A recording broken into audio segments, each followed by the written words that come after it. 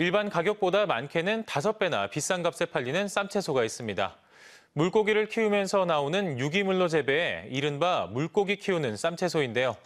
담수 양식과 수경 재배의 합성어인 아쿠아포닉스 첨단 농법이 새롭게 주목받고 있습니다. 노도 조상환 기자입니다.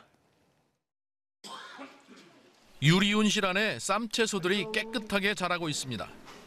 언뜻 보면 일반 하우스 채소와 다른 것이 하나도 없습니다. 하지만 흙이 아닌 수경 재배에 온실 한쪽에 커다란 수조 4개 속에는 향어와 비단잉어가 가득 들어 있습니다. 쌈채소를 재배하는 데는 물고기들이 배설한 유기물이 들어있는 물을 파이프로 연결해 공급해 주는 것이 전부입니다. 물고기를 키우기 때문에 농약이나 화학비료 등도 전혀 사용할 수 없습니다. 이렇게 키운 채소들은 1kg에 3만 원 선, 소포장으로 호텔 등에 맞춤 납품할 때는 최고 7만 6천 원까지 받습니다.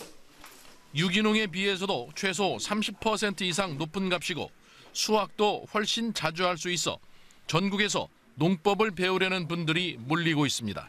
일반 농가 토경으로 하는 사람들은 엽채류 생산을 하는데 일년에 두세 번이면 끝이에요. 근데 이거는 일년에 지금 열번 정도 생산을 합니다.